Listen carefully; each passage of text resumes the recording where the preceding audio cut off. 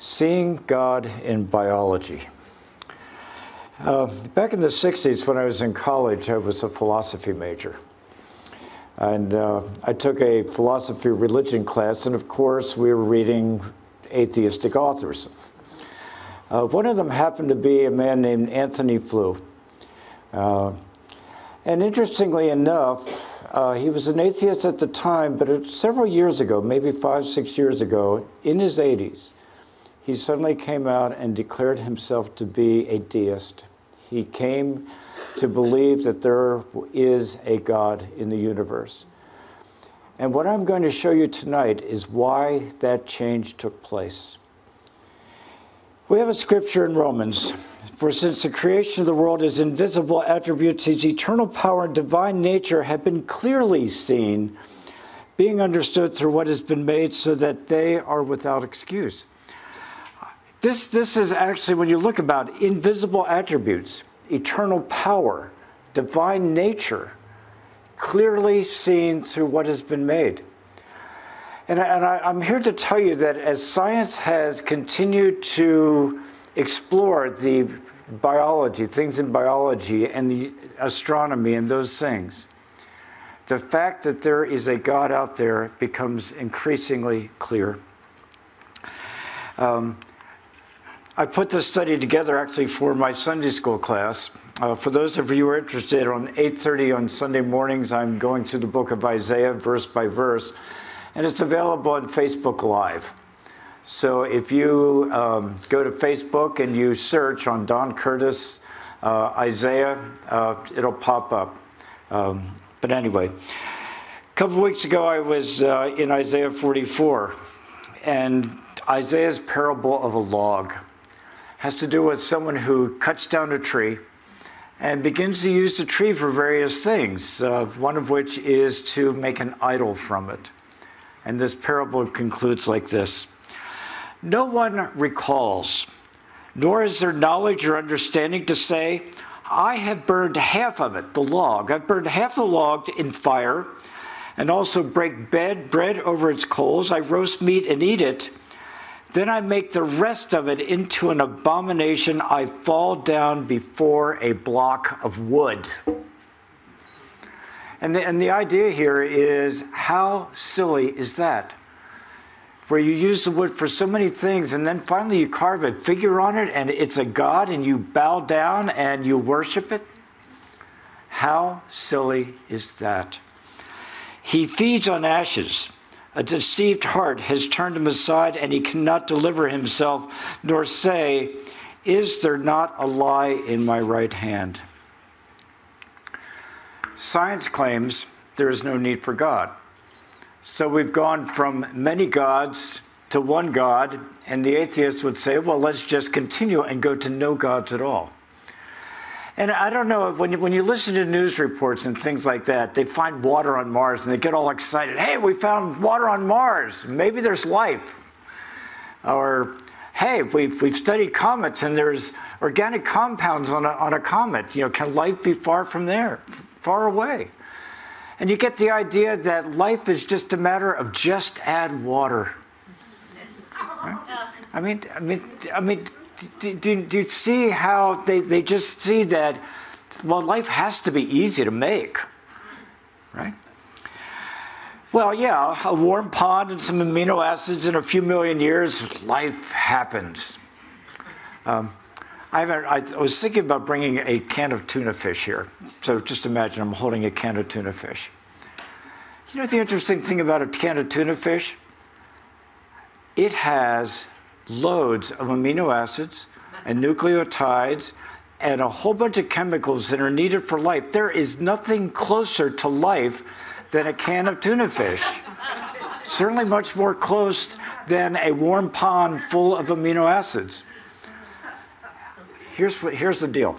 If I open this thing up in a, I, I work in a, uh, in a biology company, and we have our sterile hood, so we know how to create a sterile field. So if I open this can of tuna fish in a sterile field, and I mix it in sterile water, and put it in a sterile Nalgene container, and I put it on a shaker, and we just let it slosh around for a million years. nothing is going to happen. The amino acids that are there are going to break apart. It's exposed to sunlight, pretty soon it is just a slosh of nothing except some carbon. Okay.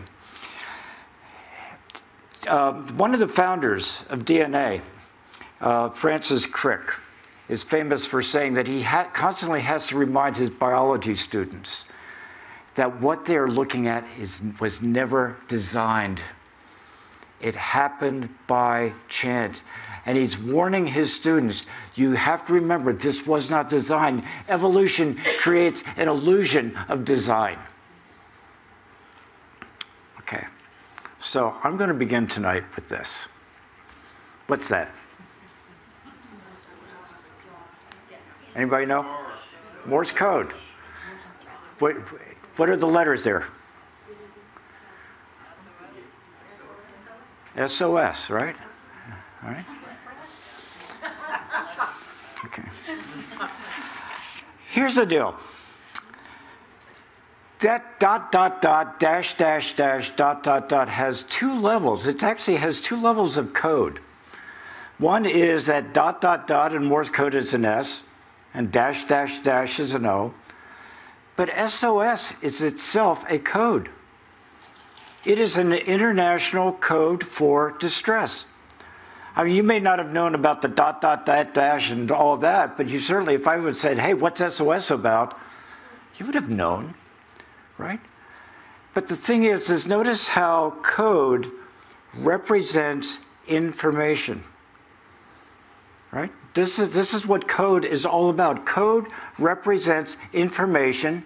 And my thesis tonight is that information always comes from intelligence? Information doesn't assemble itself randomly. At least codes for information do not assemble themselves randomly. So let's ponder the telegraph and Morse code.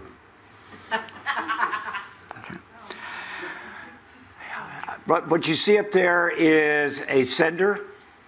You have a message, which, by the way, if, you, if, if any of you are decoding it, it says Jesus loves you. And then on the other side, you have a receiver. And then you have transmission lines in between. And, and notice that I put the Morse code table on both sides because, quite frankly, both sides need the same code, right?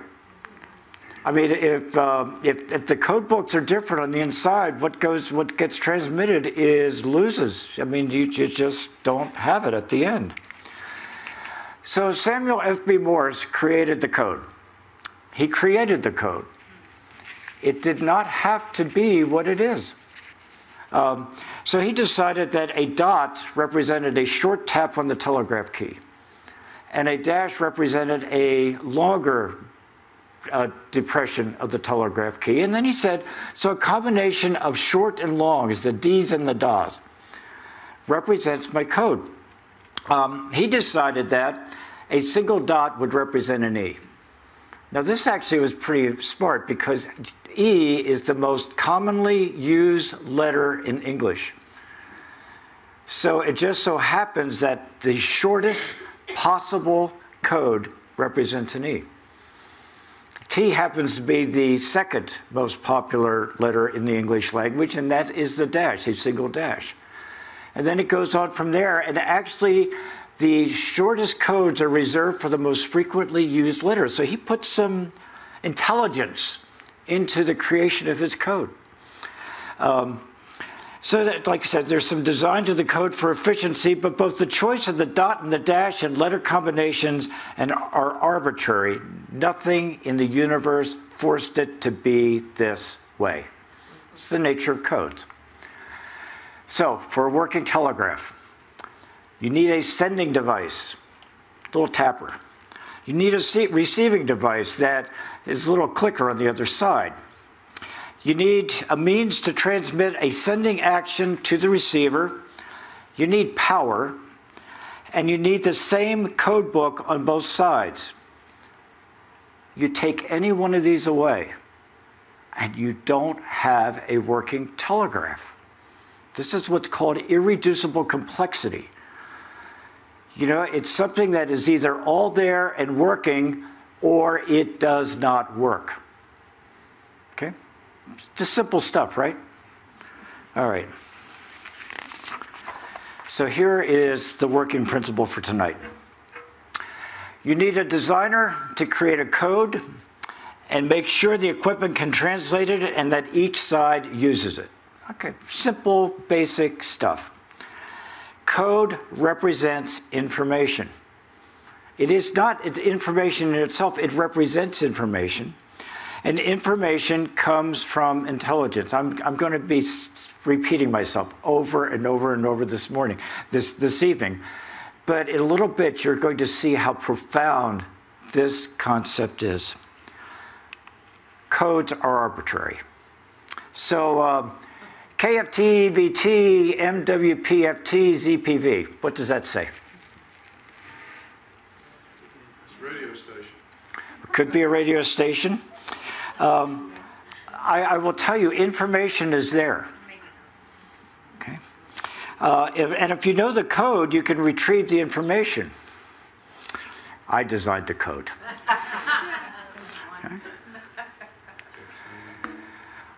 It's a very simple substitution cipher. I just shifted each letter to the, to the right so that K is a J, F is an E, T is an S, V is a U, T is an S. Jesus loves you. Okay? All right. Codes are arbitrary. But the information that they represent is real. Codes are arbitrary, the information that they represent is real. Okay. So um, let's see, I guess. Okay. Now, language. Language is code where sounds communicate meaning. I mean, do you realize that we speak in code all the time? Jesus, right? That's a series of sounds that comes out of my mouth. But Jesus as information, Jesus as a concept, is world changing. But it is a code that I speak. And not only that, but Jesus as a code can be pronounced Jesus, Jesus, Yesu, Yeshua, or it can be spelled in a different alphabet, like in Hebrew, which is the next one down is Yeshua in Hebrew are letters for sounds that code for meaning, and code requires intelligence in the creation, use, and understanding. Okay? So here's the thing. Again, codes are the product of intelligence. They're used to represent information, and intelligence is what is there to take a code and make some good use out of it. It all requires intelligence. Code transmission is the product of intelligence. Sending and receiving require the same codes. A is sent as a dot dash, dot dash is received and decoded as an A. And if you know something is a code, you can decode it. And codes are designed and require a designer. So I am going to introduce four videos that I'm going to show. Okay. Uh, the first video is going to be about DNA transcription. And by the way, these videos are produced by secular organizations. Okay, so it's not some Christian outfit that invented all this. this these videos come from Harvard. Okay. Um, DNA contains lengths of nucleotide codons uh, that code for amino acids, and the DNA section contains a sequence of amino acids that make a specific protein. This is what DNA is all about. It's all, it's all codes for proteins. Uh, these are copied to a long mo molecule called messenger RNA. So that's what we're going to see in the first video. The second video is called messenger RNA translation, where the messenger RNA is then used to assemble a series of amino acids into a protein. Um, I'm going to show DNA replication because this is the coolest video in biology that I think exists on the planet. Um, you know, that DNA is self-replicating only in the sense that it uses it creates a bunch of proteins that are assembled together into this fancy little molecule that spins at 10,000 RPM so that it can be part of translating, of um, reproducing, copying DNA. And then I'm going to show you a music video because I like this one. This one is pretty. It's got, it's got a catchy tune, and it's just going to show you some of the other stuff that goes on in the cell. Um, all right, the players. DNA. DNA is a sequence of chemical codes. They're actually called nucleotides, and they're given letters uh, uh, G, A, T, and C. And there are three letter combinations that code for amino acid. For example, TTT codes for phenylalanine. Alanine. You don't need to know it. You don't need to know this. I'm just showing you a little bit of what's what's there. Um, the sequence is a code for a protein needed by the cell. But you know, there's these other sequences like ATG in DNA represents a protein starts here. And then there's a code, TAA, which says the protein definition ends here. So there are start and stop codes all the way through our DNA. Um, a DNA strand is five feet long. This blows my mind. I mean, by the way, this is all microscopic, right? If you, you can't see a cell without a microscope, and the nucleus in the cell is a tiny little mini cell within the cell, and all the DNA is in that tiny little thing. We have, as humans, 42 strands of DNA, and they're all five feet long. 210 feet of information packed in every cell of your body. And that's how many codes we need to produce all the proteins that we need. Okay? All right. Messenger RNA is made in the cell and it's copied of, uh, a copy of the protein sequence and then transfer RNA. This is a tri triangular little molecule that at the tip has an amino acid attached. And at the base, it's got these little uh, molecule shape that actually match to the messenger RNA. They fit. And if there's a fit, we've coded for that particular amino acid. All right. So, uh, before you start this, you need to remember that everything you're looking at is taking place in the cell and these, I mean, this stuff that has been painstakingly put together over the last 60 years of just research and experimenting and things like that. But this is phenomenal. There's gonna, they're going to throw terms at you, forget the terms. Just sit back and admire, and I'm going to say it here, just admire what God has put in us. Okay, so let's, let's go with uh, making messenger RNA. The central dogma of molecular biology DNA makes RNA, makes protein. Here the process begins.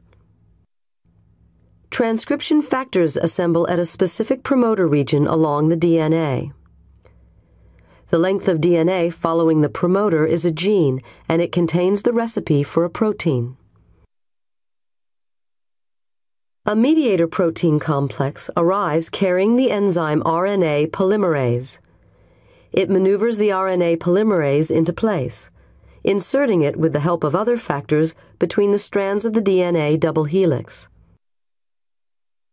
The assembled collection of all these factors is referred to as the transcription initiation complex, and now it is ready to be activated. The initiation complex requires contact with activator proteins, which bind to specific sequences of DNA known as enhancer regions. These regions may be thousands of base pairs distant from the start of the gene. Contact between the activator proteins and the initiation complex releases the copying mechanism. The RNA polymerase unzips a small portion of the DNA helix, exposing the bases on each strand. Only one of the strands is copied. It acts as a template for the synthesis of an RNA molecule, which is assembled one subunit at a time by matching the DNA letter code on the template strand. The subunits can be seen here entering the enzyme through its intake hole, and they are joined together to form the long messenger RNA chain snaking out of the top.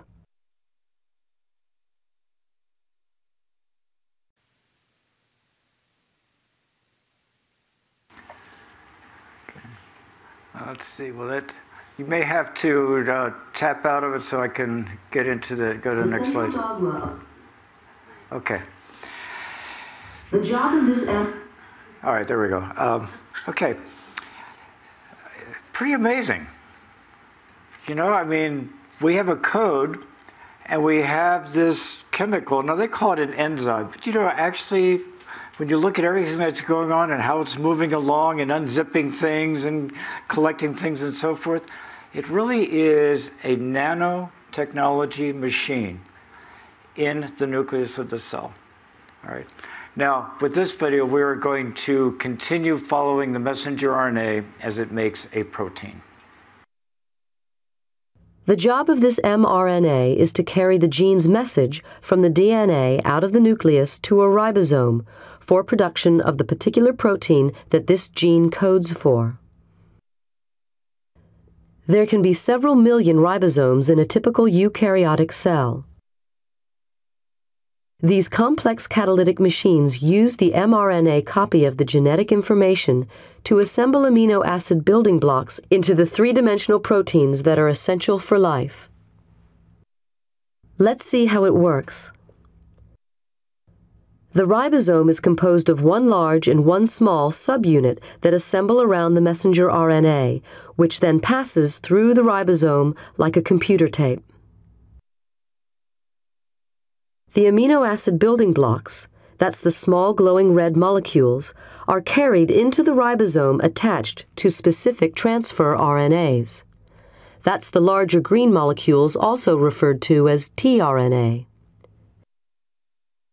The small subunit of the ribosome positions the mRNA so that it can be read in groups of three letters known as a codon. Each codon on the mRNA matches a corresponding anticodon on the base of a transfer RNA molecule. The larger subunit of the ribosome removes each amino acid and joins it onto the growing protein chain.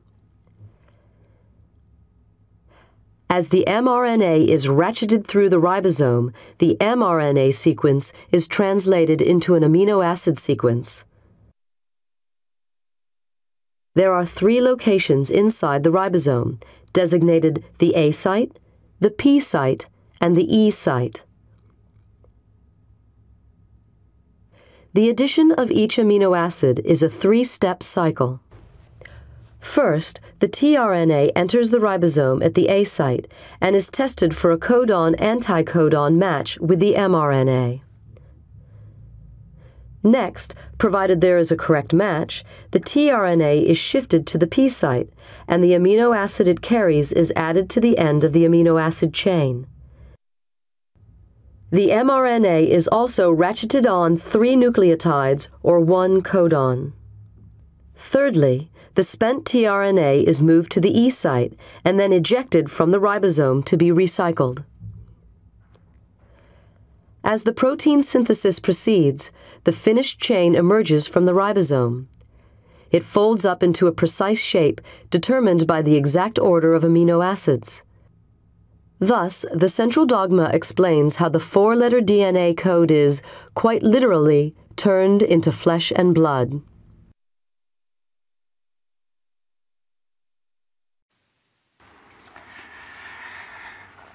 Like a computer tape, ratcheted three at a time, you know, batching, extracting, a precise sequence for a protein that folds in a particular way because proteins very often are fully functioning by their shape more than anything else. But, but notice what we have here a code in DNA that has information about a protein that is copied to messenger RNA that is sent outside of the nucleus that is connected to a ribosome with all these little transfer RNAs that match up code wise so that we get the precise amino acid. Okay? You know, you need both sides. You know, both sides have to work. Both sides have the same code, have to have the same code, or you don't get useful proteins. All right? All right. Now, this one's just fun. Um, this is, like I said, this is the most amazing. Uh, I'm, I'm, I, again, they're, they're going to call this one thing called helicase. It's a little, they color it blue. Now, the, the, there's no real colors on this. They're color coding it for our, our benefit. Helicase is a protein complex that is a motor and that motor spins at 10,000 RPM so that it can unravel five feet of DNA in a reasonable amount of time. Uh, what you're going to see is that af after the DNA is unraveled, uh, there is a, a complex that creates a copy going off this way. Like as, since you're going to be, it's going to go off this way. I don't know why it is, but the other side has to be copied backwards. So it's got to do some snipping and looping and things like that so that it is properly copied backwards. So, like I said, uh, this is. Um, the job of this mRNA. Okay, let's make a copy of the DNA so the cell can divide.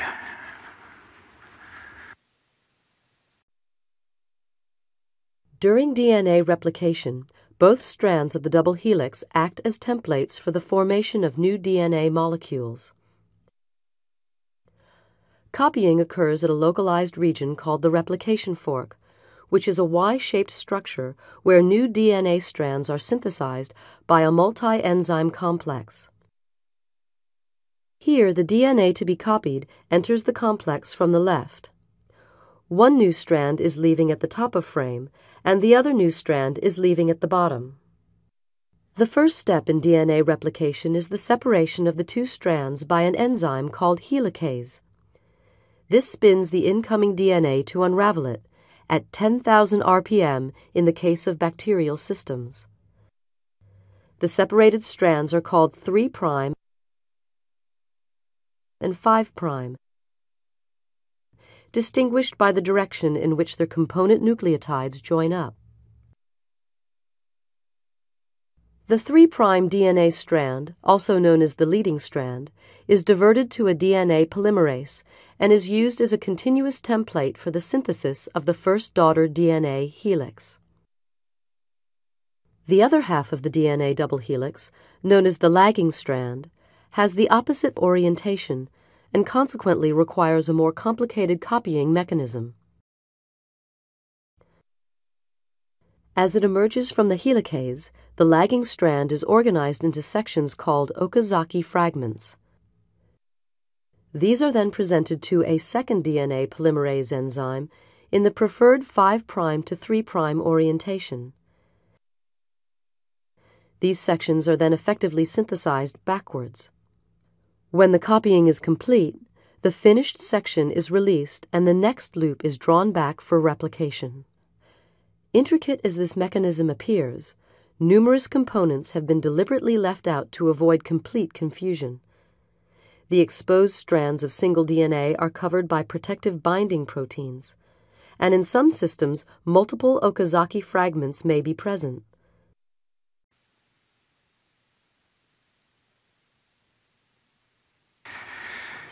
So, don't you love the comment? Significant things have been left out to avoid complete confusion. It is way more complicated than what this animation shows. Life, just add water. This had to be designed, it had to be made, it had to be manufactured. If DNA is the information repository in the cell, then this copying mechanism has to be there first, or the DNA has to be there first. Well, actually, it all has to be there at the same time. It's the only way that it works. You know, and therefore, when we look in the cell, as I say, we see God in this biology because it takes, I mean, I look at this. Uh, by the way, if you want details on this, there's a book about this thick called Signature in the Cell. It's by Stephen Meyer. I went into worship reading that book. Okay, I mean, it's my style, but I mean, I'm, I'm I, I was I was reading where he was comparing, where he was describing the biochemical nature of DNA. And I say, Lord God, you are such a genius. And I went into worship. All right? Okay. The name of the book is Signature in the Cell. It's by Stephen Meyer, Stephen C. Meyer. He is uh, not a scientist, nor am I. But, but quite frankly, all you have to do is have a clear thinking head and a, and a curiosity and the ability to do research, and you can communicate truth, which, which he does. All right. All right. Um, the one last video, this is a short one. It's called The Inner Life of the Cell. Cute little uh, theme. There, there is, um, what this is actually showing is a white blood cell that's flowing through an artery and it gets a signal that there is an infection nearby. And it has to create proteins and it's got to transport the proteins uh, to the right place so that the it, structure of the white blood cell can flatten and it can go to the place of the infection. But you're not going to understand all of that. I just want you to look at all the different things that are going on. So if we could go to the inner life of the cell.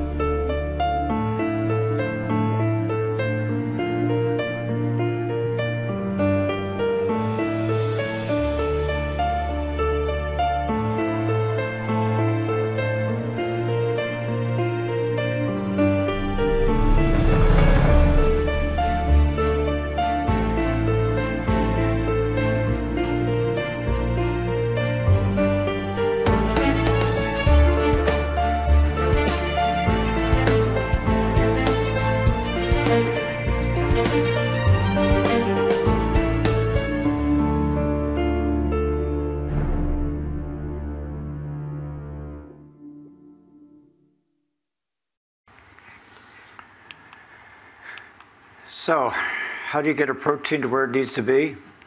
You put it in a big bag and you have a little guy who walks along a roadway that has been constructed to take it where it needs to go. The amazing thing about what's going on in the cell is you have all this activity that's going on. It is self regulating, it is self directing. I mean, it is completely and totally self contained. And they get excited because they find water on Mars as if life is just a matter of just adding water. This had to be designed. And this is why Antony Flew suddenly was no longer an atheist, because he saw this. All right, let's go back to our telegraph. A working telegraph or protein making? See, I, I use the telegraph as a code for you to understand protein making. We're all code. Information is all code. You need a sending device.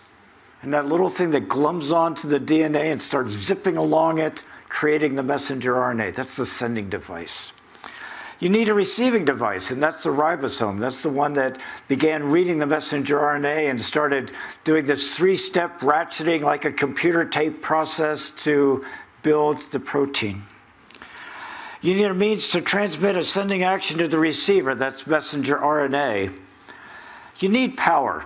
Now, this is done by a, a, popular molecule. It's all over the cell called adenosine triphosphate, and it is what gives the cell energy, and it's what provides all the motor stuff.